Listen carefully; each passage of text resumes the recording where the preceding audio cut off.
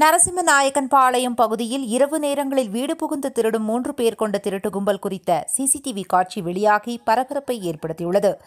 கோவை நரசிம்மநாயக்கன் பாளையம் பகுதியில் உள்ள பாலாஜி நகரில் கடந்த திங்கட்கிழமை சரோஜினி என்பவரது வீட்டில் பத்து சவரன் நகை திருடப்பட்டதாக பெரியநாயக்கன் பாளையம் காவல் நிலையத்தில் புகார் அளிக்கப்பட்டது.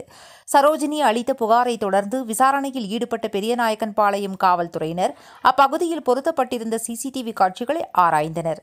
அதில் இரவு சுமார் இரண்டு மணி அளவில் மூன்று பேர் கொண்ட கொள்ளை கும்பல் அப்பகுதியில் சர்வசாதாரணமாக நடந்து வருவதும் சிசிடிவி கேமராக்களை கண்டதும் முகத்தினை கர்ச்சிப்பால் மூடுவதும் பதிவாகியுள்ளது.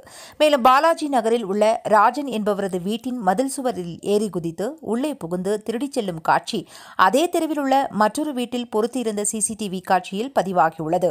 கண்காணிப்பு கேமராவில் பதிவாகியுள்ள காட்சிகளை வைத்து திருட்டு சம்பவத்தில் ஈடுபட்ட அந்த மூன்று பேர் கொண்ட திருட்டு கும்பலை பெரியநாயக்கன்பாளையம் போலீசார் தேடி வருகின்றனர். திருட்டு கும்பல் நரசிம்மநாயக்கன் பாளையம் இரவில் உலாவரும் சிசிடிவி காட்சி வெளியாகி அப்பகுதி மக்களிடையே பரபரப்பை ஏற்படுத்தியுள்ளது. தெருவில் பல சிசிடிவி கேமராக்கள் பொருத்தப்பட்டிருப்பது தெரிந்தும் தைரியமாக வந்து கொள்ளையடிப்பதை பார்த்தால் இனி திருடர்களை கண்காணிக்க புதிதாக ஏதாவது தொழில்நுட்பத்தை தான் கண்டறிய வேண்டும் போல.